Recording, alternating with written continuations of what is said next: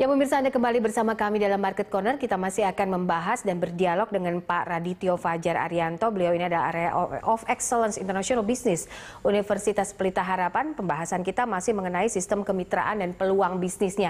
Terakhir tadi kita bicara soal brand awareness. Uh, Pak Radit tadi bicara bahwa brand awareness ini penting sekali untuk meningkatkan kualitas produk agar banyak sekali uh, para investor atau para pebisnis yang ingin bermitra.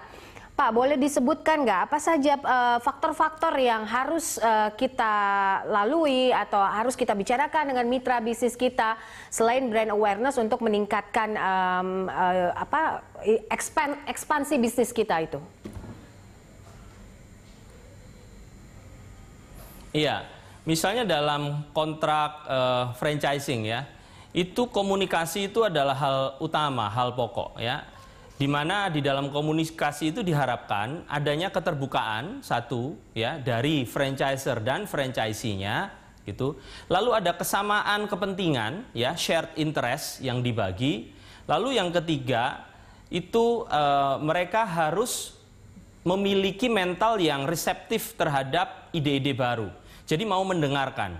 Baik franchiser maupun franchisee mereka bisa saling bertukar pikiran dan mendengarkan satu dengan yang lain.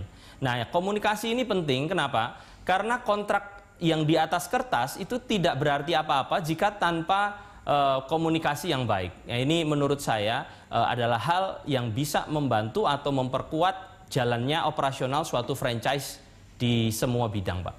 Baik, uh, saya Tadi uh, kembali lagi kepada sistem dan mekanisme mengenai peluang dari sistem kemitraan ini.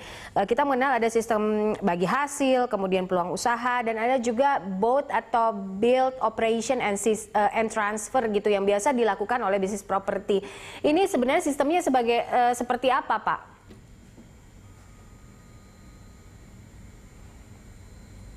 Um, untuk uh, sistem misalnya seperti BOT ya, Nah ini sebenarnya eh, hakikatnya mereka sebenarnya membagi eh, resiko antara eh, sebuah properti yang bidangnya adalah membangun gitu dengan operationnya nanti gitu ya.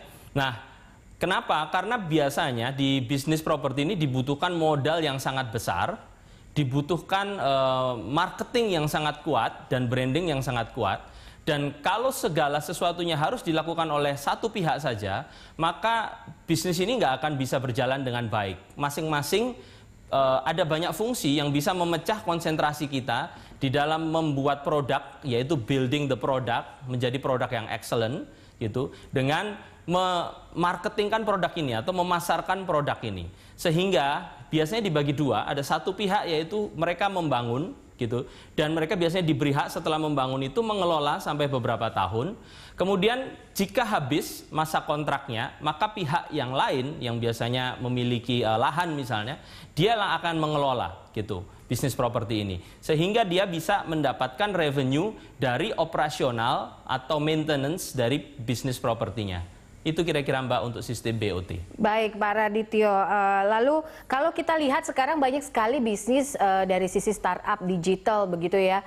Di Indonesia sangat menjamur sekali. Nah ini juga tidak menutup kemungkinan untuk bisnis uh, atau sistem kemitraan berjalan di sana. Lalu bagaimana caranya kita mengetahui pola kemitraan yang benar dan menguntungkan? Iya. Um, yang pertama itu kita membutuhkan konsentrasi atau fokus khususnya pada 2 sampai uh, sorry 3 bulan sampai dengan 2 tahun pertama atau 24 bulan pertama. Kenapa? Karena sebenarnya uh, bisnis uh, franchising ya yang mengadopsi uh, startup atau memanfaatkan uh, internet connections ini membutuhkan uh, core kompetensi yang berbeda. Di satu sisi kita harus fokus terhadap bagaimana kita mengcreate bisnis kita, di sisi yang lain kita harus fokus terhadap bagaimana memasarkan produk kita. Uh, saran dari saya uh, satu-satu gitu ya. Jadi yang pertama adalah membuat produk yang orang lain itu memandang sebagai produk yang baik atau service ya. Sehingga apa? Uh, kita mengharapkan word of mouth Jikalau kita akhirnya memanfaatkan internet menjadi satu sarana untuk kita memasarkan produk kita, itu akan mengkonfirmasi produk yang sudah baik yang kita sudah deliver kepada customer. Jadi uh, saran saya tetap bahwa produknya itu harus baik gitu because apa ya ada pepatah mengatakan good product sell itself gitu ya. Jadi produk yang baik itu menjual dirinya sendiri. Sehingga marketing itu hanya akan membuat uh, produknya menjadi terkonfirmasi bahwa memang produk ini baik. Itu uh, langkah yang berikutnya saya rasa.